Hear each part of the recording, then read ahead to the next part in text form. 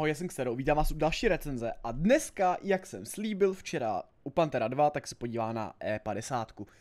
Eh, jedno pro mě osobně z nejlepších devítkových medek, eh, protože ten stroj kombinuje podobně jako pademka eh, naprosto unikátní počet dobrých vlastností, které jsou skombinované do jednoho tanku, což ve výsledku dává naprostýho, naprostýho býsta.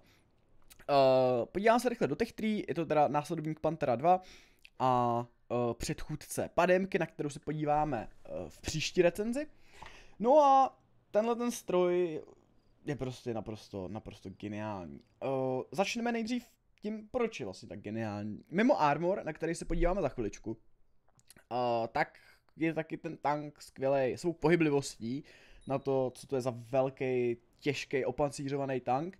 No a taky to dělo samozřejmě nesmíme opomenout. Jedná se o 105, uh, která má 350 alfu, 2800 DPM, takže DPM slušný, uh, 220 lomeno 270 pene, což je docela málo na devítkový metko. A teda musím říct, že proti některým desítkám vám ta pena ani na těch CRkách ne- nemusí stačit, ale uh, penetraci se dá vždycky přizpůsobit gameplay nějakým způsobem. Máte 8 stupňů deprese, to znamená, že jste schopni hrát uh, docela i přes dost horizontů, a celkově se s tím tankem hraje příjemně, jako víceméně velmi všude. Uh, máte 450 alfu na héčkách při 60 mm pene, což je jako hodně, hodně slušný. A ty héčka se rozhodně vyplatí na devítkový a desítkový padině používat, takže fakt se to vyplatí. Prostě vy v moment, kdy rolujete héčkama přes 500, tak uh, to je úplně, úplně, úplně šílený. Uh, Přesnost a čas zaměření, přesnost je velmi, velmi dobrá. Víte, že s tím setupem, který tam mám, mám přesnost 0272, což je na 105, jakože hodně, hodně, hodně přesně dělo. Aim time, eh, čas zaměření 34, gun handling je takový, že se s ním dá úplně v pohodě hrát. Eh, v zásadě u té 50 není jako gun handling vůbec žádný problém, nebo aspoň mně se, mně se nezdá gun handling jako problém. Máte maximálku 60, couváte 20, což je úplně, úplně strašně super. Uh, vy se na tu 60 sice nedostanete úplně hned a úplně často, ale když už máte fakt nějakou rovinu nebo nějaký kopeček, tak se fakt rozjedete. No a třeba ramování s tím letím tankem je naprosto jako šílený. To, to, to asi všichni si dovedeme představit. Uh, No a to je tak nějak, tak nějak všechno, co se týče takhle základních, základních statistik o tomhletom tanku. Uh, podíváme se rovnou teďka na pancíř, uh, protože pancíř tohoto tanku je velmi, velmi, velmi, ale opravdu velmi zajímavý.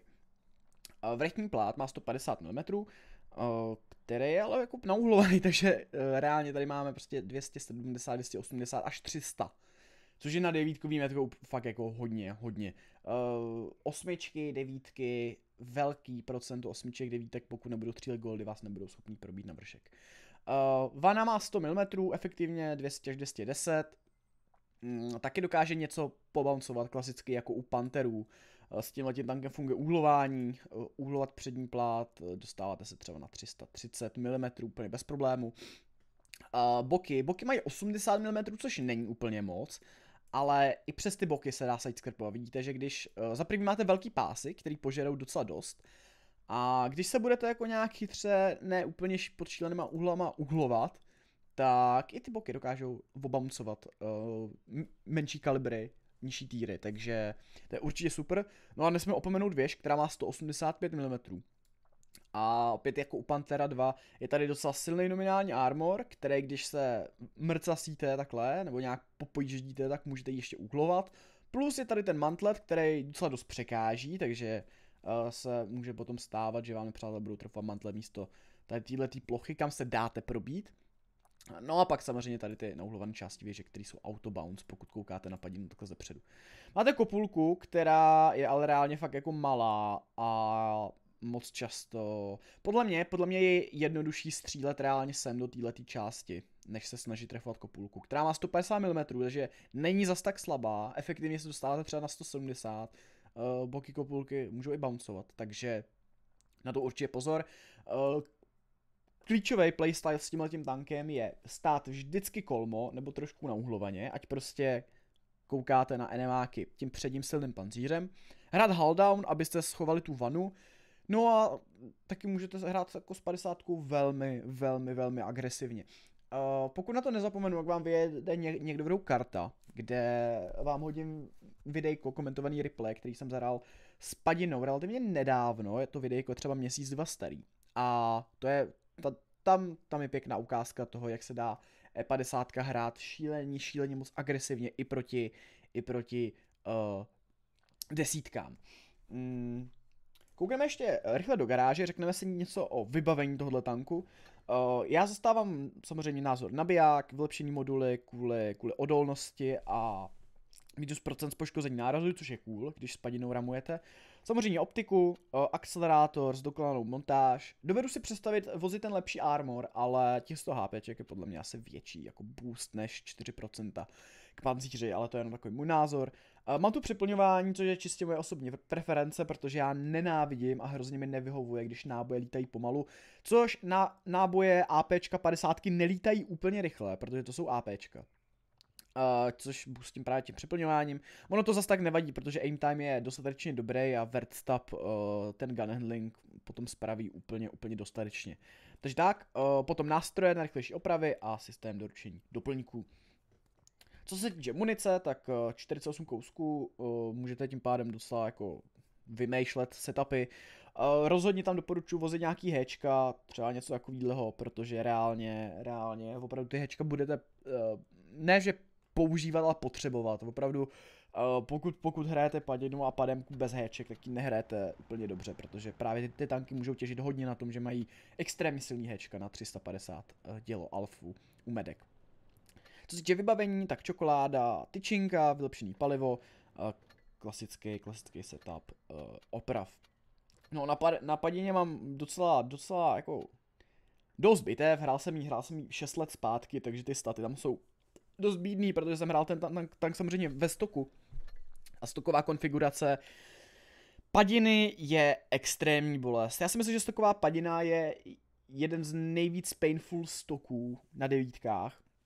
Asi ne úplně nejvíc painful stok, protože třeba takový stokový Conqueror jako taky není úplně 10 z 10, ale opravdu chcete topový moduly, chcete, chcete motor, který vám přidá 200 koní, uh, chcete, chce, chcete pásy, no samozřejmě jako nechcete hrát na proti, proti desítkám s osm, osmičkou, takže co nejrychleji dělo a respektive věž a dělo.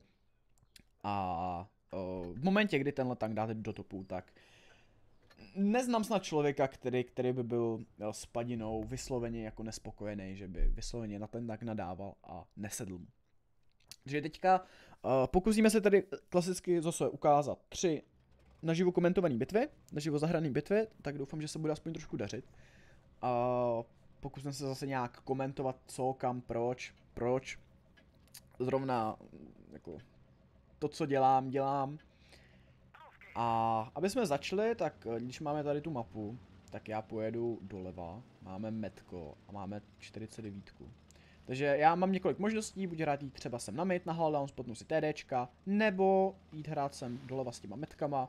CDCčko je úplně ideální. Uh, nepřítel pro mě, protože za prvý ho, ho můžu hečkovat, za druhý ho můžu ramovat a ty hečka se rovnou připravím. Út 438 nebo 7. Tak 49 ho dopne, nedopne, já ho dopnu, tak. No a teďka si můžeme, pravděpodobně se mi povede ukázat teda Ramadán v akci, no. Protože to STAčko to nebude mít úplně, úplně, úplně dobrý, bych řekl. Tak opět hečko, bohužel teda jsem ho neprobila, vidíte, že ram za 400, sám jsem ubral 100 HPček, takže to je jako... Asi, asi toliko kramování, jo. ten poměr ten pešílený. A v momentě, kdy vy se rozhodnete zabít například nějaký osmičkový metko a nepomůže mu tým, tak ho opravdu zabijete. To je právě to, proč uh, pad, padinu a padem mám tolik rád, protože vy jste opravdu v podstatě heavy tank. Vy jste naprosto schopný Devítková padina je schopná konkurovat devítkovým heavinám. Desítková padina je schopná konkurovat desítkovým heavinám. Ne všem, ale některým jo. A uh, ten váš potenciál, který, který máte v kombinaci s tím pancířem, s těma HPčkama, s tou pohy pohyblivostí a s tím dělem je naprosto šílený. Tak. Ideálně bych nechtěl dostat ráno o to jachtygra. Zkusím ho sidescrapnout, uvidíme. Jestli mě třeba bounce, nebo tak něco. Mysnul mě a já nabijím jsem rychleji než on, takže to by mělo být teďka safe stát ránu, když mám adro. Vždycky texturka, tak to byla špatná rána z mojí strany. Že extrémně špatná rána. No a vidím, že ten Mauerbrecher na mě nějak jakože... Nejede, ale otáčí se na mě. Tak já si tady udělám cover za tenhle house. Uh, sidescrap. Sidescrap je jedna ze z naprosto základních taktik, který doporučuji uh, s 50 hrát. Probiju. Nikam neprobiju. Ok, přes pás. Tady bylo vidět, že těch 270 penek, kterou máte na tom goldu, opravdu ne vždycky musí stačit. To. Občas se vám fakt stane, že prostě tu pene nemáte. A potřebujete potom čarovat docela, no. Tak já tady teďka upřímně nevím, co jako budu dělat proti tomu jachtigrovi. On mě tady staknul docela. A já nemůžu dělat upřímně vůbec nic. Že jsem se tady, jsem špatně se natočil. Ne, blbý tohleto. To je blbý a ten jachtigr tady teďka má na mě naprosto klíčovou pozici. Já nejsem schopný s ním nic udělat. Ještě když jsem amoreknutý, já nabím strašně dlouho. Strašně dlouho nabím. Pokusím se si nastřílit ještě nějaký damage, když mám poškozený amorek. Hodím adro. Já mám takový nepříjemný pocit, že kdybych měl tu munici, tak bych tuhle tu bitvu vyhrál, protože všichni byli na ránu a já bych to nějak uhrál. Bohužel, prostě jsem nabíl 11 vteřin, což pademku. Uh, s padinou není úplně ideální, náš tým taky nebyl úplně ideální, ale ukázka toho, uh, co je padina schopná způsobit v osmičkách, tu máme. Teďka bude následovat ukázka, co je schopná padina způsobit v desítkách. Uh, je to teda docela příznivý desítkový matchmaking, mají pademko 62, teda pade Bčko 62. Ta 62 je docela nepříjemná, protože pokud bude hrát Haldon v parku, tak já s ním nebudu moc udělat v podstatě nic, protože moje goldy nestačí na jeho věž, ani zdaleka. No ale pokud jsem se rád park, má, má jsem jediný metko, oni mají dvě, vypadá to, že za mnou budu mít nějaký support od toho týmu, takže se asi nemusím úplně bát jít zahrát ten park. A tady budu přesně operovat přes tu věž, přes těch 8 stupňů deprese, uh, můžu tady jako hrát v pohodě haldon pozice. Teoreticky nějaký hečko do boku se tu třeba naskytne, uvidíme. Pozička, tortoise. Vidíte, doměřím, dělo velmi přesný. Um, ten čas zaměřování je trošku delší, když tam máte to přeplňování, musím teda uznat, že uh, jako jo, nezaměřujeme to úplně jako nejkratší dobu. Na druhou stranu, já jsem opravdu zastánce, mm, eh, když máte pomalý APčka, nebo pomalý náboje, tak hodit si tam to přeplňování. Já jsem člověk, který prostě, jehož playstyle je čas snapshotovat jako úplný, úplně nesmyslný rány. A opravdu kolikrát to, že vám náboj letí rychleji, vám pomůže takovýhle rány dát. Tak. Ale vidíte, že zatím jako dělo, dělo opravdu neklame. O, klepu to tady jak hřízky na Vánoce, no a teďka v tuhle tu chvíli asi se můžeme rozjet s tím týmem. A já asi pušnu, já asi pušnu, pušnu to káčko, tu enemy bázi s těma našima, protože tam je spoustu tanků a padebéčko a takovýhle tanky jsou tanky, které se dají rozhečkovat. Takže hen hen. Budu hečkovat normálně, normální ránu. Rovnou to pušnu dál. Na to káčko, který mu dám jednu. Yeah, yeah, yeah. OK, tak ten kdo mi dal docela hodně gamer track. Já mám nabitý vykřičník, pokud jsem se zabít to aliena. No a, a ne, e, jako enemy team jako není už. Enemy team není. Má vložku, nemá vložku, nemá vložku. Nemá vložku a tady je Avk, Avk Emil. Hmm. Hmm. A tady ten Amorek do toho Emila za těch 18 tím héčkem by byl úplně hodně cool. Hodně cool, hodně cool. Nechceš bouchnout, Emile? Nechceš bouchnout za těch 1500? Prosím, prosím. Nevadí. 7-0 bitva, mm, 2 minuty 20 vteřin a já mám 3,5 tisíce. Je to prostě šíleně dobrý tank, ta padina.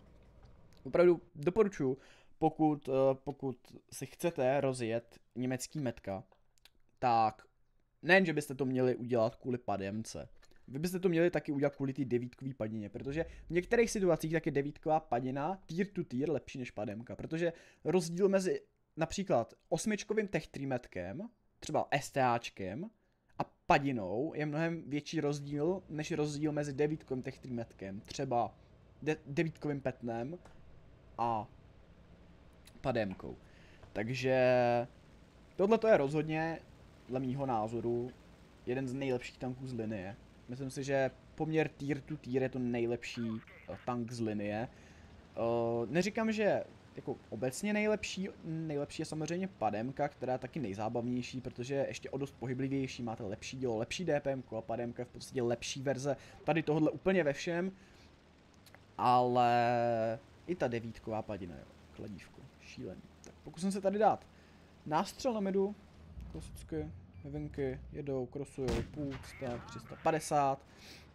DPM naprosto dostačující těch 2800, který máte, tak nedělá vám to problémy, jste schopný udělat damage víc než dost, kdybyste měli reálně větší DPM, tak je ten tank, si myslím, docela OP. Ale nemáte, takže je pademka, no. Padina naprosto vybalancovaná a bohužel tady mi nevyšel reload, což je trošku škoda. Tak, hele, hele, hele. Wafle a káčko, wafle a káčko, a káčko. Nabiju si golda. Kvůli rychlosti náboje. Aha, bouncenu. Tak, to je super. Bohužel, pademka si na mě našla teda hodně sneaky rány. Hodně sneaky rány a já bych se měl teďka možná vzít. Odjet. Protože pademka s tím projetem mě tam můžou teďka jako neskutečným způsobem otravovat. A já si myslím, že budu potřeba spíš tady jako na tom, na tom heavy flanku zjišťuju. Proti tomu Emilovi a tak.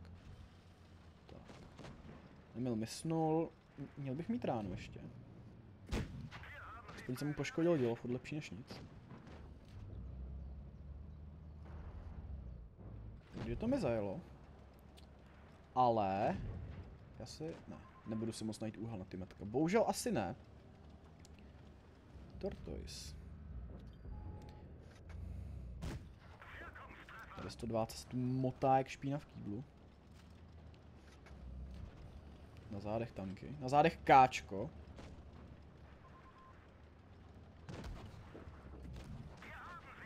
Tak se tady schovám.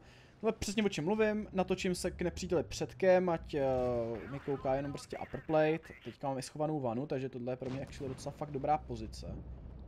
Byl jsem v lagu, což je... Což je hodně nepříjemný. To je hodně nepříjemný být v lagu, to, to, to je hodně nepříjemný, protože s tím nejde vůbec nic dělat. Já pomůžu s tím káčkem tomu centovi, vypadá jako, že by to nemusel... Aha, nepomůžu. Aha, jo, mhm, dobře, OK. tak to nebyla ta poslední hra, dojel si pro ně proč to. Doufám, že to ti naši vyhrajou teda ještě nějak. Ta pademka nevím, proč tady kempí, protože dávno nejede jako in. Takhle se rozhodně nehraje pademka. V příští recenzi vám řeknu, jak hrát správně pademku. Neberte si příklad tady eh, z pana Sorislula 222. Ale myslím si, že tady ta že tady ty tři bitvy byly docela, docela obstojný ukázky toho, jak se dá uh, padina, jak se dá devítková padina hrát. Uh, závěrem, chcete prostě s tím tankem mít hull down, chcete hrát na pancíř, chcete používat héčka, chcete ramovat, pokud to půjde.